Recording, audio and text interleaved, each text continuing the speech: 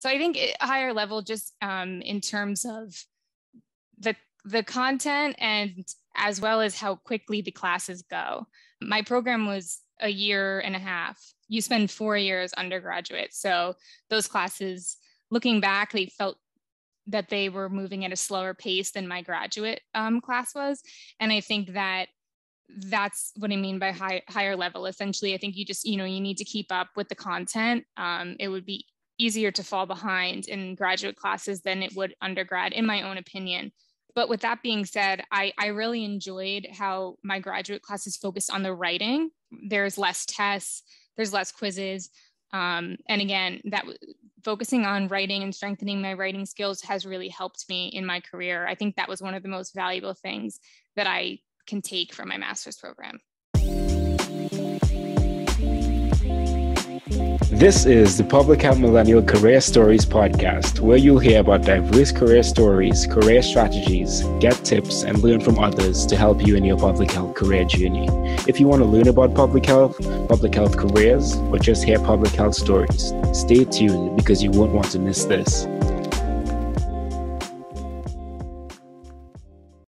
Welcome to the Public Health Millennial Career Stories podcast, episode number 76. Hi, everyone. Omari Richins. Thank you all so much for joining me today. Be sure to follow me on the PH Millennial. Before, be sure to go and subscribe to my email list. Be sure to subscribe to the podcast, leave a like, share with a friend, leave a review. Greatly helps the show get out and help more public health people, which is all which is all we are about here, just helping more public health people figure out and navigate their way in public health. I really enjoyed today's conversation. It's been someone that I've been connected with online for a bit, and we finally got to e-connect and really just dive into her story. And I'm excited to share with you all. And I know you all are going to take some value from it as well. So be sure to do all those things. And we have some exciting things coming into the future. So just make sure to subscribe so you don't miss out on that as well. Peace. Today, we have a public health professional and public relations freelancer. She got her bachelor's degree in public health and women's and gender studies at the College of Charleston, then got her master of public health at the University of New England. She works as a program associate at ABIM Foundation. I don't know if you say ABIM, as well as freelance healthcare public relations specialist at Comprehensive Care Center. We have Kate Carmody, MPH. Welcome to the show. Hi, Omari. Thank you so much for having me. I'm so happy to be here with you, and I'm such a fan. Thank you, thank you. I'm, I'm glad to connect finally, like online. I guess it is really nice to put a, a face and like some personality behind the emails and, and the different communications that we have had in the past. Absolutely. Yeah, yeah. So how how are you doing, and how have you been coping during these times? I'm doing well. Yeah. Um, I'm like many organizations, we I have been working from home essentially since um, the beginning of the pandemic. So it's been an interesting transition. Um, but I, am doing well. How how are you? I'm I'm also doing well. Got my uh, little green smoothie thing that I made here because my kale was gonna go bad. So uh, yeah, and, and, just having a very relaxing uh, day. So I, I kind of complain. I'm just always happy to hear new stories in public health for like so weird weird like I don't like really doing the editing and the back end stuff, but talking to people, oh, I'm, I'm all about that. So I'm, I'm yes. excited for this as always. Uh, so, so tell me, how do you identify, and then tell us a little bit about your personal background. Sure. So I identify with she, her pronouns. Um, as you said, I am a program associate at ABIM Foundation. Professionally, I consider myself a public health professional. I currently live in Philadelphia where I work, However, I am from New Jersey and um, was raised there. Okay. Okay. Well, thank you for that little synopsis of your life. And we're going to dig a little bit more into your public health career in a little bit. But before we do that, what does public health mean to you? Yeah, this is a really loaded question, and it's it's hard to summarize um, in in one answer. I think to me, um, public health is is essential to our communities. Having a strong public health workforce means we have a strong uh, foundation of a society. And I think that people who were not aware of public health prior to the pandemic may realize that now, hopefully. Um, so as, as a public health professional, it means everything to me because it is my career. However, more importantly, as a person in the world, public health is, is very important to me because we we need a strong public health workforce in order to have healthy communities. Yeah, absolutely. So all about the communities. We, we gotta we gotta get get the workforce, the infrastructure, everything in place so that we can do our best to to do the work for the community. So thank you for that. Um, so you got your bachelor's degree in public health and women and gender studies at the College of Charleston. So was what was the thought process for that? Did you go in as both a public health and women's and gender studies major? Yeah, good question. So I actually did not go in with any sort of major. When I was in high school and essentially completing high school, I definitely had an interest in healthcare. Um, I was interested in the clinical side of healthcare. I was also interested in um, what I now know as public health. However, at that time, I didn't necessarily know what public health was. So I, I took an introduction to public health class my freshman year of college, and I essentially never looked back. I loved all of the public health classes. I declared my major right away. Um, I couldn't wait to just dive deeper into those classes. So I, I, majored in public health, and then the minor in women and gender studies came similarly to how I had an interest in healthcare in high school. I also had an interest in uh, feminism, women and gender studies, and um, I wanted to move forward largely with public health, but also expand my knowledge um, in in women's and gender studies. So I, I combined the two of them. Okay, okay, awesome. So so tell me, what was that that point in your public health classes in your freshman year that I was like, oh my god, I want to do this? What what what was that for you? Yeah, it, it really was my introduction to public health class um, because since that class was such a broad overview of the subject of public health, I remember thinking to myself, wow, I love all of this content. I felt like public health is a place that we, we know that people who major in public health do take clinical tracks. However, for uh, me, I thought, wow, this is a place where I can become an expert in the healthcare system and not necessarily um, be serving clinically. And I loved everything that came after that class. I would say that you know there was no particular moment within the intro to public health class that made me think i'm i'm, I'm going to move forward with this it was just being in the class overall and learning all of the content and just learning what public health was for the first time okay that's awesome and uh, i'm i'm jealous uh, lucky you because i wish i had like any kind of public health class to know about public health and undergraduate, but uh, that, that's awesome. I'm glad that it led you down that path. And I definitely think it is so fascinating. And a lot of the times, as you said, like people are thinking about clinical health, even in public health. And I think there's just so much in public health that you can do. So I'm glad that you're with us in this public health world. Um, so, so during during your time in undergrad, you were communications coordinator and research assistant at the College of Charleston's Women's Health Research Team. So, how do you get that, and then what are you doing it? Right. Yeah. Um, that being a part of the College of Charleston Women's Health Research Team was such a great experience. Now it feels like a very long time ago, but I still consider that experience to be really foundational in um, public health in my experience as a public health professional. So, as I said, I had the minor in women and gender studies. And to complete that minor, I had to participate in an internship. And that was my gateway into uh, joining the of Charleston Women's Health Research Team. So um, essentially, I did stay on past my internship just because I really um, enjoyed being a part of it. But that I would highly suggest that any public health undergrad or graduate students, if, you, if they have the opportunity to do so, that they join a research team because that was a great way uh, to even just to sit back, even if you weren't participating in all of the different research studies, just to sit back and watch the process was really helpful. You really do get a grounding and understanding of how public health research works. Um, so, of course, being a women's health research team all of those studies were focused on women's health research. And it was also very interesting because uh, um, many studies were specifically in Charleston, the city that I went to school in, or l- larger than that in the state of South Carolina. So you really do get an understanding not only for the research process, but for a lot of the um, health issues that are focused in the state that you're in or in the city that you're in. And then also when did women and gender studies like when did when did the thought behind getting that minor come come into play um that i do think that similar to how i decided to major in public health pretty quickly in my college career i feel similar to that about my minor I, ch- I chose it simply because I learned that it was a major and I again had interest in those classes. So I would I would say I probably just picked that minor around the same time I picked my major. So towards the end of my freshman year, um, I felt pretty confident about these are two subjects I'm interested in, and I would like to learn more. Okay, okay, awesome. Well, thank you for sharing that. I also saw on your LinkedIn profile you got a bachelor's degree in public health at I'm gonna butcher this, but University de Iglesia de, de Modena e Reggio Emilia. Very good. I'll take like a five out of ten for that. but, but tell, tell me what, what what is that about? So essentially, that was my study abroad experience. Um, so again, as I would suggest any students being involved in a research team if they have the opportunity, um, anyone who has the opportunity to study abroad, I, I would highly suggest that experience for various reasons, even to anyone, not even people who are interested in public health. But I think that there's a lot of value in enrolling in a study abroad program.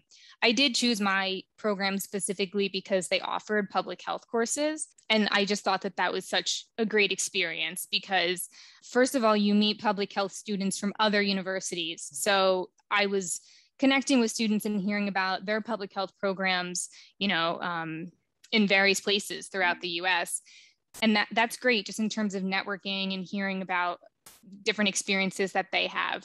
And then on top of that you're also in a different country so you're learning about a different health system. Um, and that was really valuable.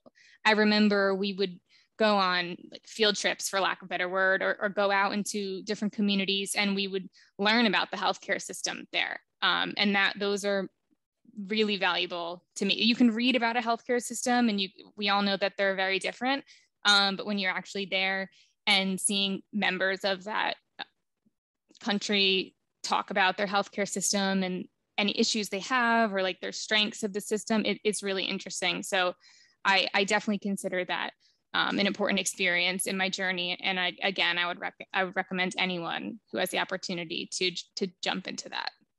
That is really awesome. And w- this was in Italy, I'm guessing. Yes. So it was in um, Reggio Emilia, which is northern Italy. Okay, okay, that, that that sounds amazing, and that's awesome that they offered courses in public health as well. That is amazing, and it's, it sounds really cool because you said like other public health students from around the U.S. Uh, coming and going and, and going to those places. When in your schooling did you go to that? Go go there. So I actually spent my last semester of undergraduate abroad, um, which is I guess if you were to go earlier on in your college experience, you may have the opportunity to take more general classes that aren't focused on your major. Um, however, I was again choosing this program because they offered classes for my major, and that's what was left for me before graduation. Um, and I, I would suggest that people who who go abroad, even if you're not going to take all of your courses um, in your major, I would suggest taking one or two because I do think that it's beneficial. And then, so you're studying abroad, and after this, you got your master's of public health in, uh, at the University of New England. But like, tell me about that thought process. You're abroad. Are you thinking about jobs? Are you thinking just about a master's of public health program? What, what are your thoughts then? Yeah, good question. I think I, I was thinking about all of those things. Um, I was thinking about do I want to get uh, a master's degree? If so, do I want to concentrate in something specific in public health? Do I want to take the route of working right away and looking to start my career and then later visiting school? Um, I think that those are questions and thoughts that a lot of students have. So I actually decided to, to combine those thoughts. Um, I started my master's program at the University of New England, and I did that master's program online. Um, and that gave me the opportunity to start my first job outside of undergraduate, which was um, a health educator at Morristown Medical in Northern New Jersey, um, or formerly known as Atlantic Health System. So I was I was completing both of those at one time, and that was it, eh, definitely a, bu- a, busy time in my life because of that. But I, I think it's important to mention that um, I find it, I found a lot of value in doing an online master's program. I at first was skeptical, thinking I might not have the same experience that I would in person. Um, however, looking back, I was really happy that I was able to start my career earlier on rather than waiting another year um, if I were to be in person in school. I didn't concentrate in anything specifically in my master's. Um, I just got a general uh, MPH. And that's another uh, thing I find value in. I think that concentrating in something is great um, because you become an expert in whatever you're concentrating in. But I think one of the benefits of public health is that it's so broad, and getting a, a general MPH still makes you think, okay, I have all of these opportunities. You know, the opportunities are limitless. And I left there feeling that I had taken classes similar to those I took in my bachelor's degree, however, at a higher level. And I really strengthened my writing skills through my master's program. Okay, firstly, before I forget, what does that higher level look like? Or like, can, can you explain like a student in their bachelor's degree is thinking about doing their master's, but they don't know what like that difficulty level is going to be like help help them sure so i think a higher level just um, in terms of the the content and as well as how quickly the classes go my program was a year and a half you spend four years undergraduate so those classes looking back they felt that they were moving at a slower pace than my graduate class was and i think that that's what I mean by high, higher level. Essentially, I think you just, you know, you need to keep up with the content. It would be easier to fall behind in graduate classes than it would undergrad, in my own opinion. But with that being said, I, I really enjoyed how my graduate classes focused on the writing. There's less tests, there's less quizzes. Um, and again, that focusing on writing and strengthening my writing skills has really helped me in my career. I think that was one of the most valuable things that I can take from my master's program. Yeah, absolutely. I think I think that writing skill is just because it's, it's like you're going to use it in all different settings. So being able to to use it and be effective in your communication as well as just being able to know how to write about different things and, and like synthesize data or whatever the case might be is just hugely hugely beneficial. So, so that's awesome. Absolutely. So tell, tell me about the process. So you you're abroad you come back, you graduate in Charleston, you go home to New Jersey, and then you get the job and then apply to MPH, or you get into the MPH program and apply to the job? What's that process?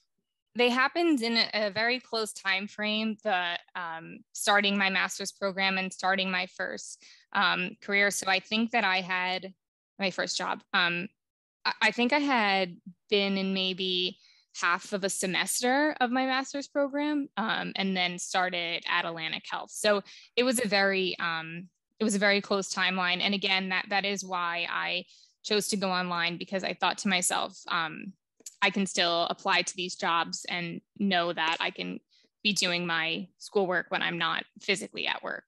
Okay. So it was, yeah, I would say it was in a month or two of each other. Okay, makes sense. Thank you for clarifying for me. Um, so was the online MPH also two years or was it a one year online MPH? So I believe that, and I'm sure it's different for every program. I believe that students definitely have flexibility in how long they, how long or how short they want to complete the program. I chose to do the fast track and I completed it in one and a half years. Okay. Okay. Thank you for sharing that. So what were your duties at Atlantic Health? What kind of stuff did you do? Yeah, so um, at Atlantic Health, I worked as a health educator and I worked in the community health department. It was a really interesting experience and I definitely learned a lot from it.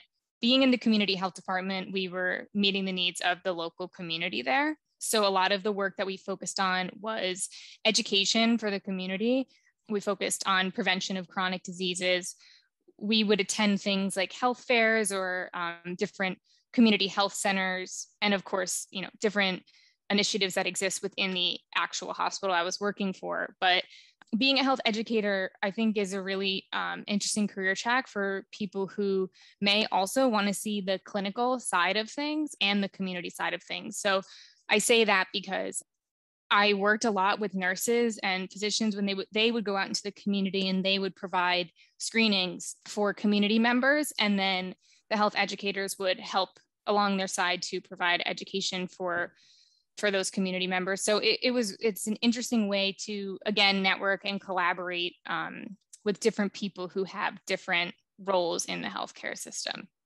Yeah, and what is also awesome is that you probably like getting all this real world experience and different things happening and then you're reading about it in your mph program and you're talking and you can reflect on like actual experiences that you're having and how that relates which also just helps to solidify everything that you're learning in in a, in a more practical way. So so that was a great thing there. And another thing uh, to mention is we also worked a lot with community health workers um, and I really enjoyed that so much. Community health workers are amazing. I give them so much credit. They're underutilized in the public health system and they're they're so essential. It was interesting again just to just sit back and see their responsibilities and their duties. And I think the it, it, it shows the strength in various careers in public health. You know, you can become a health educator, you can become a nurse, a physician, a community health worker, and at the end of the day, you're you're serving your community and it's it's amazing. It's amazing to work with all of those different roles. I, I really enjoyed it. During your MPH program, and also while you were working as a health educator throughout that time, you also had a couple uh, internships. So the first one was a public health intern at West Africa AIDS Foundation, or WAF, or WAAF. Uh, so how how did you get that, and then what are you doing it? Sure. So um, similar to my experience studying abroad, this internship at WAF was really great because, again, I got to learn about the healthcare system in a different country. I applied through that internship online through LinkedIn, um, and they have interns who are there um, on the public health level, and then also interns who are getting clinical hours. It was really great to be able to work on the grants that they had on the community level there, and also um, we did a lot of work in the community. So we went out and provided free STI screening and testing to more remote areas of Ghana. And I really learned a lot from the nurses that I went out with to do that. You learned about collection of data of, uh, based on those screenings. And then as well, we would refer people back to the clinic. And I also was able to shadow and learn from other health educators there um, about uh, the education that they would provide to the patients that they were referring. Okay, that was awesome, and it, that's cool that you got to do both this and then the uh, the study abroad in Italy, which is which is awesome. Are there any like takeaways from that, like just being able to immerse yourself as a student, or like before you're like actual professional professional and going to these different countries and experiencing like public health work there? Are there any takeaways you wanted to share? Absolutely. I mean, I think that interning at WAF specifically helped me find an interest in the health education field and community outreach. I think I may have been interested in that without the experience, but it, it was helpful to get the hands on experience and see, okay, what would an average day be like in this position? It might not be exactly the same in one internship as it will in um, a career path that you'll take, but I would say that's why internships are helpful because you get to learn what you do like and what you don't like. And it's almost like a, a trial run before you get to start your career path. And, and I, I certainly find that helpful. I even wish that sometimes now I, I could do that. I wish that I could go out and, and learn about different, different fields in public health. I think that it, it's definitely really valuable, again, if you have the opportunity to get hands-on experience and just listen to um, and and learn from others and their own experiences in those fields. Absolutely, you sound exactly like me. Um, saying that you got to get out there and get those internships to, to know what you like and what you're doing. Like, is this absolutely just like that? Because you're not going to find out any other way. Absolutely. Okay, and then during this time, you also had a M, uh, you had you were MPH intern at the American Academy of Pediatrics. So tell me how how do you get that and what are you doing? I chose to intern at the New Jersey chapter of American Academy of Pediatrics. And that internship, I would say, was was definitely more office based compared to my other internships with WAF or you know even studying abroad where i was seeing you know different healthcare systems so i wasn't again of course we're focused on the us healthcare system here but uh, again i think that it was just really helpful to to learn about people who were in those positions so I, I did get to go to different conferences with my preceptor, um, and that was helpful. We we focused specifically on ACEs. Um, they were doing ACEs screenings and and studying ACEs, which is adverse childhood experiences, and that really opened my eyes to trauma informed healthcare, which I'm still very passionate about, and I still find really interesting. So essentially, I, I was in that position to complete my capstone, and um, I was able to get the hours I needed, and I made networking connections. Again, it it gave me all of what internships should give you, um, and, and that was really helpful. Okay, that's awesome, and and I think it's, it's good to like highlight that you said you got into this and then you found the experience with ACEs and like trauma informed work. And now that interests you more because you got some experience in it. And as you said, as we said earlier, like you got you got to do it to know if you like it or not. Um, exactly. Yeah, yeah. So so you you're doing your MPH online, you have your health edu- educator position, you're doing these different internships at different times. How did you manage your time? Yeah, I, I I look back and I'm not sure how I did, how I managed it. Um, no, I, I think that it's just like anything else. It's just prioritizing each day, taking it day by day. Um, I think that all students know that that it just feels like there's not enough hours in the day sometimes, but but you, you, get through it. And I think that it was helpful to have so many different moving parts at once. It's really helped me with my time management skills in my current position. You know, now I'm in a place where I'm not in school anymore. I essentially my main focus is my job, which is a nine to five job. However, looking back at my past, I'm, I'm helpful that I gain those skills to prioritize the different projects that I have for my own position. So it, it was a learning experience doing all that. Um, I think the online component certainly helped. I give a lot of credit to people who are working and in school in person, but but I would I wouldn't change anything about it. Okay. And, and do you have any like tools or techniques that you use to prioritize like projects and things like that or not not so much? I'm I'm a huge calendar person, as as simple as it is, just you know, writing everything down on a calendar in one document, to-do lists. There's a lot of joy in crossing things off. You know, I like to use any resource and tools that are helpful to schedule and prioritize your time. Calendar is the main one for me. Fair enough. Simple and effective. Exactly. and uh, did you have any other takeaways that, that you had um, through your MPH program? That you wanted to share? Yeah, I think another thing that I really enjoyed about my MPH program was learning about, again, about different people's positions. So online, a lot of the uh, online programs focus on a discussion board. So you have a discussion board for every week or every two weeks, and you answer, and then you can comment on other people's posts. And it was interesting to see the various places that people were at in their careers. We had people who had worked in you know a career for 10 years and then they decided to get an mph and then they talk about what they're focusing on. Then you had people like me who decided to go into your mph you know soon after your bachelor's degree. So i think i found that really and and that's something you would get in person or online. I just i found it really interesting to learn about other people and and where they were in their careers and um, and just their experiences. Like because when you think of a career track you always think that it's something that's really linear. You know i'm going to start here i'm going to go a b c and learning about other people makes you realize it, it doesn't happen like that at all. You know one opportunity leads to the next and for me as as a younger professional I, I find that really helpful because i think that people can put um, pressure on themselves and thinking that they have to be moving from one step to the next and and again that's just not that's not how it works yeah, absolutely. I absolutely agree with that. And I, think that that's so important to highlight because a lot of people do do not know like how you go about getting or knowing how to get to where they want to be in public health. And it's funny that, that you talk about like discussion boards because a professor reached out to me and told me that um, someone, well, who she's putting people in her program, her undergrad students in her, I think it's the American University or something like that. And they have to listen to six episodes of this podcast and write about it in a discussion board. So maybe your story will be highlighted. And, and as you said, you were happy to hear and learn about those different stories. And I'm very happy that you came on here to share and, and tell your story because there's just so many different stories and you do learn that it's not a linear path.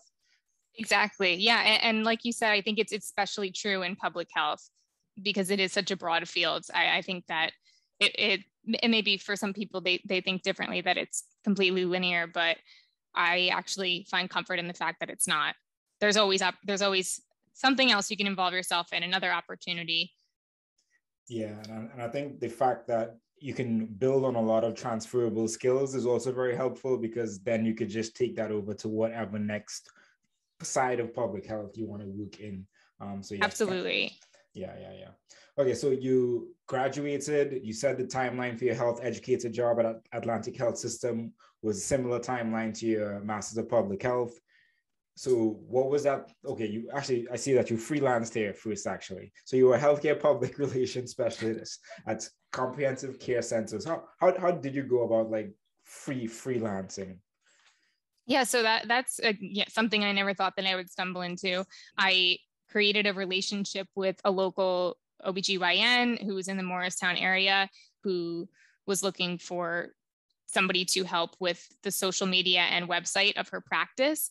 And I didn't necessarily have these tech or communication media skills that made me feel like an expert. However, I thought that it would just be a great opportunity to learn and a great something to put on my resume, etc. So I, I, went for it, and um, essentially it is a freelance position because um, even though I've moved out of the New Jersey area now, I'm still able to do that position from home.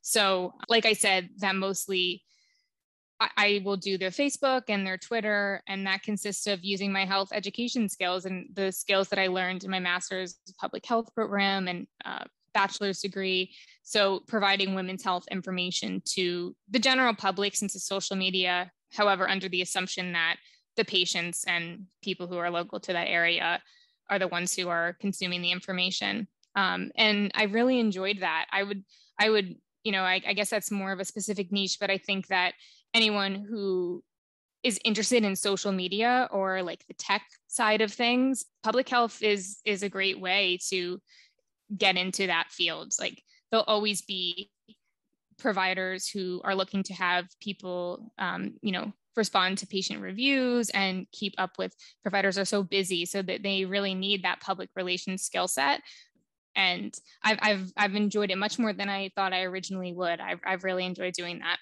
Okay, that's awesome. Is there any advice that you would give to someone that is looking for those type of opportunities?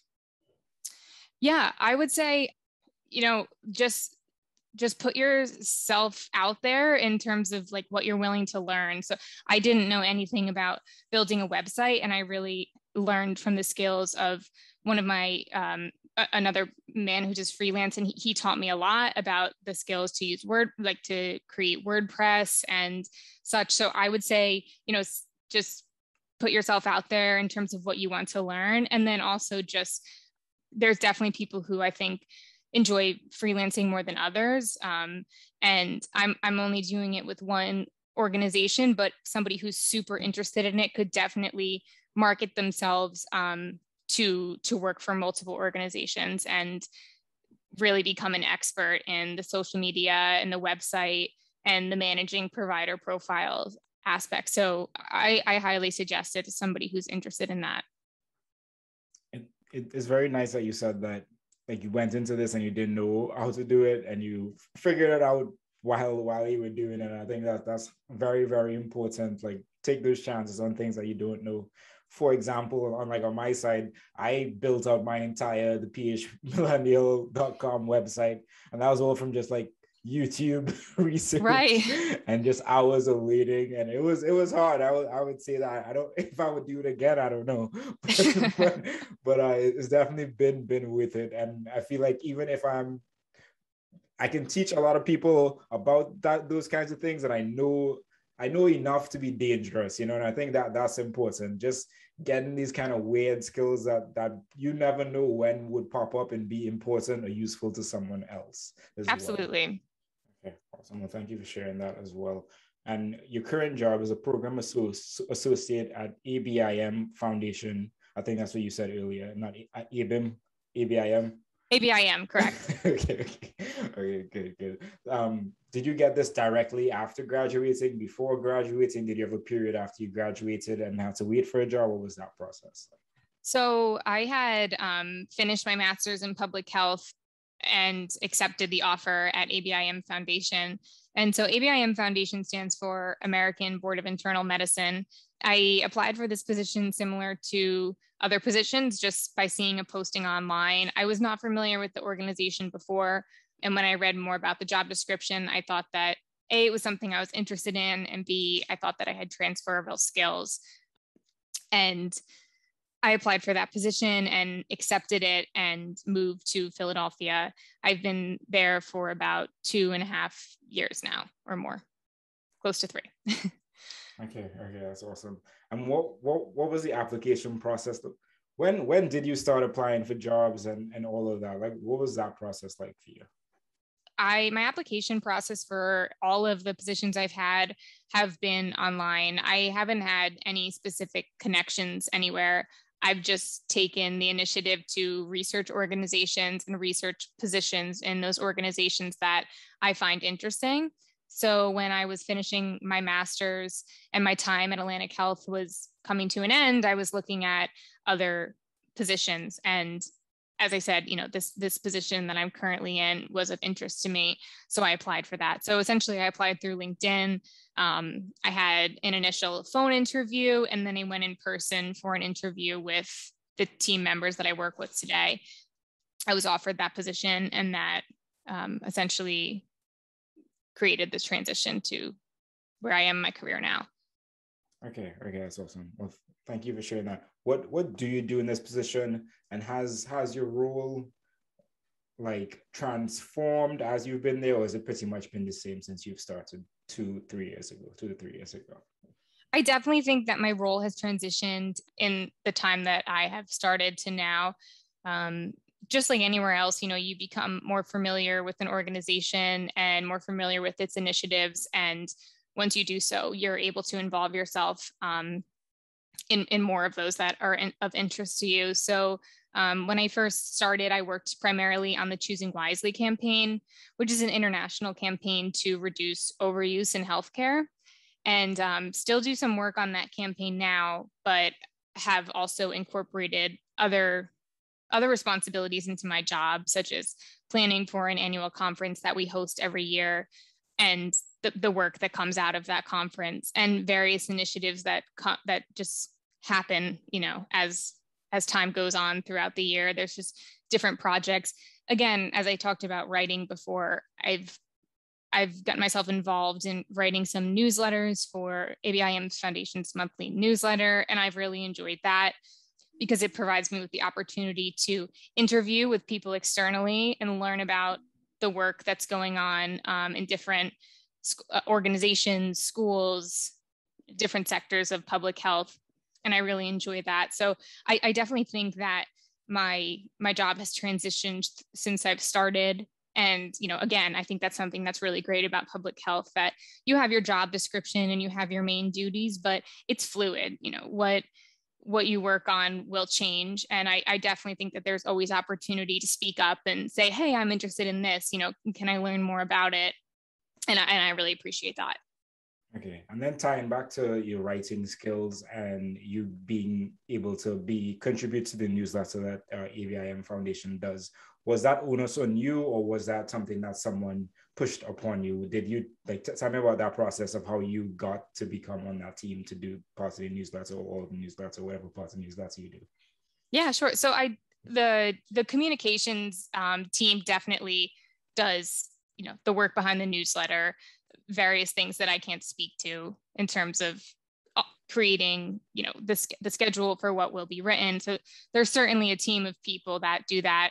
Um, but i did myself speak up and say i would be interested in writing content um, for these newsletters. And my manager and other coworkers gave me that opportunity to do so. So again i think i think it's important to speak to what a might challenge you and b interests you yeah it's always great when you're able to integrate something you like into your job more more holistically. So that's awesome. And uh, thank you for sharing that. Uh, I wanted to ask, did do you have an interest? Did you have an interest in working in public health globally? Is was that something that that ever crossed your mind? Seeing that you did go to school in Italy for a bit as well as work in um, Ghana. Absolutely, yeah, great question. A global health to me has always been so interesting. I mean, I think that every time I read anything that's in the global health sector, I'm just amazed. You know, I, I learned so much. I think even more than I do on the community level. I, I have more of an interest in, in global health. and I'd like to say never say never. Like maybe I'll find myself working in the global health sector, and I I'm I think I would really I would really love that. The way that my career has um, has played out, I haven't necessarily, other than the internships I've done, I haven't professionally worked in the global health sector, but but I would love to, and, and I do, you know, see other public health professionals and students who do global health fellowships. And I would say that people who are really interested in global health and want to, you know, absolutely have a career in that track. I I can't speak to something I've never done, but from what I've read and learned secondhand, I think that um, that's a great route is to intern with organizations who focus on global public health initiatives and problems, and then apply for apply for those internships, fellowships, opportunities to to study and to work abroad that will provide you t- with the opportunity to make make a more uh, make a formal career out of out of those experiences and yes I, I absolutely find global health so interesting okay that's awesome and i do look forward to seeing if that is a transition that you make in in the future or whatever that that thank you. progression looks like oh thank you thank you for coming on and sharing and sharing those thoughts and, and everything like that and i think if people are interested in global health i think Vanessa DaCosta was on one of my podcast episodes. Can't remember which which number. Uh, definitely check that one out as as well as uh, Taylor Deramo. I think she goes as Taylor underscore public health on Instagram. You can definitely check her out. She's an MPH student, but she does she has heavy interest in global health and she has a lot of information around that. So awesome. Yeah, just some resources for everyone if they were interested. And uh, so after, well, no, sorry, you you're also a steering committee member at Public Health Young Leaders Association Network.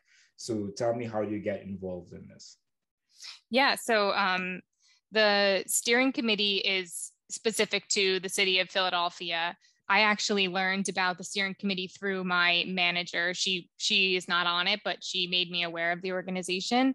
And essentially, um, Phila exists as a organization of young public health professionals. So they advertise different events, public health events that are going on that public health profession, young public health professionals are interested in, provide networking opportunities, career development. And um, I was really, just, I just thought, wow, like what a great organization. This should be, this should start even younger. Like this should start when they're students and have just more opportunities to connect with one another. Um, and with that being said, I just had a general interest and also moving to Philadelphia and not knowing um, many organizations here or many people professionally. I had made my connections in New Jersey. I thought that it would be a great opportunity to expand expand my network. So I applied to be a member of the steering committee. Everyone who's on the steering committee serves a two-year term. So I'm um, I've been there for about a year and a half and I am the strategic partnerships lead. So I work with the other members to help create partnerships with the other organizations and again find out the events that those organizations have and um, connect with them you know have them promote what we're doing and we promote what they're doing uh, and it, has been a great experience. I've really been able to, just for myself, learn about the organizations that exist in Philadelphia and all the events that are going on, all the great work that's being done. And then, you know, larger than that, feel like I'm hopefully contributing uh, to the committee in creating connections to other organizations. Okay, and tell me more about that process. So you're the partnership lead, which means that you're trying to connect to other organizations. How do you do that? Is it through social media? Is it through like word of mouth or going to certain meetings and meeting people there? What, what's that like? Well, I will say it's definitely been more of a challenge with COVID. Um, so I think if people were meeting in person more frequently or as we were before COVID, it, it may have been more in person interactions. But based on the circumstances, a lot of the initial meets were simply done through email. So researching organizations that are local to public health organizations local to Philadelphia. And of course, there when I came on, there was various connections that existed already i wanted to just create more and so based on what it already existed seeing who aren't we connected with like who who can we connect with who's who's doing work that we don't know about and just generating a list um, from that research and simply just emailing people and saying to them, hey, this is Phila, this is who we are, this is why we exist, and this is what we offer. Um, and then hearing what they have to offer. And from there, you know, if, if they're interested in connecting, I would schedule a Zoom meeting with myself and then any other Phila uh, members who are interested. And we would give them information about the committee. And then just after that, it's, it's a matter of staying in touch and making sure that those connections are that they stay alive. Okay, that makes a lot of sense. Um, was going to ask you something. What was I going to ask you? I can't remember. Take your time. oh, I was going to ask is there a Phila in are there chapters like in different states or is it Philadelphia specific? Or are you so, not sure? So um Phila is Philadelphia specific. I don't believe that Phila exists anywhere else. Like there's no sister chapters or mm-hmm. for, you know, um, that are directly correlated, but I'm sure that in other cities, similar organizations exist. I think it would be a great opportunity if if it was more formal in the sense of that this exists in in various cities and and then you're connected all those are connected to one another like i think it would especially on the east coast where things are so closely related in proximity i think it would be great to hear like oh here's this new jersey chapter new york chapter philadelphia chapter and yeah and so i think that there's there's opportunity there for anybody who has an interest in that to connect the organizations with each other. Absolutely. I definitely think as an opportunity, if someone is interested in doing that, that's actually literally something that you can do. Uh, so thank you for Absolutely. yeah. yeah. Uh, so before we move on to the Furious Five, I just wanted to ask you, where would you like to see yourself in the future? So I you know, similar to what we had talked about before, how there's oh, is not necessarily a linear path. I just hope that in the future I continue to take the opportunities that are presented to me. I want to continue to grow my network, to grow my skill set, and then hopefully in a few years down the road find something that I can specialize in in public health and find you know really an interest in, and then um, and then move forward with that. Awesome. Well, th- thank you for sharing that. Uh, I appreciate it. I look forward to following along on the journey and seeing where, where it does take you. Um, so moving you on to the Furious Five, the five question I ask all guests. Number one, what advice would you give to a student trying to pursue a career in public health? The advice that I would give is to say yes to the opportunities that are presented to you and learn what you don't like because that will help you learn what you do like. And subsequently, I would also say to just continue to ask questions, talk to the people in your network, um, ask them about their journeys, and wherever your journey takes you, continue, just continue to ask questions. Good advice. Number two, if you're talking to someone wanting to get into your position, what advice would you give them? My answer would be similar to what I had said for public health students. Um, I would say just build your skill set. Um, as we talked about before, I think writing is really important in public health, whether you are going to be grant writing or in, in, in any other type of writing for data. I think it's absolutely important. Put yourself into a research environment to see if you're interested in that. Um, and also to learn the healthcare system, learn how it works and learn about the clinical side of healthcare, learn about the community side of healthcare. And as we talked about throughout this, if you have the opportunity, learn about global healthcare, take any opportunity to go out and have internships. Just, just really think of yourself as somebody who can take on any opportunity um, and and do it. Great, great, great advice. Um, number three, what's something you're working on improving in your life right now? As a professional, I think something I'm working on is celebrating my successes. I think it's really easy to um, get hung up on a mistake you make or things that you have to improve on. And I think that we, you know, we can all do that. So I personally am trying to work on celebrating what I'm good at and my successes rather than focusing on w- what I need to improve. Yeah, that, that that is uh that's actually really great advice, and I think like just focusing on that, like affirming all the great things that you've done, all, and all the great things that you like you've accomplished to get to where you are today is a, is a beautiful way. So, so yeah, I appreciate that one. Not, Thank not you. A, yeah, not a common one that we get, but, but nice. uh, number four, professionally, do you recommend anything?